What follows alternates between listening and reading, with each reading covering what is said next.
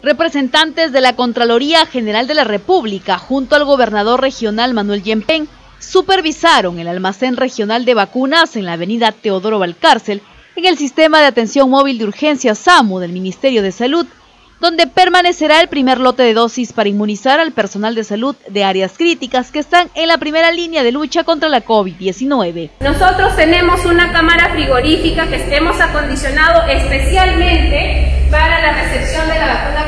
COVID que garantiza la calidad de conservación de la cadena de frío durante todo el proceso de almacenamiento de esta vacuna, el proceso de distribución. Hemos tenido el acompañamiento de la Contraloría, quienes nos han venido a supervisar que cumplamos con todos los procesos y también nos van a estar acompañando en todo el proceso de distribución. Una capacidad para almacenar un millón de dosis tiene esta cámara de frío.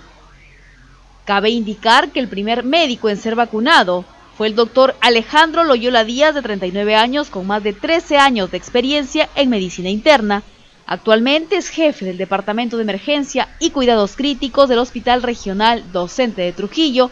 y docente de la Facultad de Medicina de la UNT.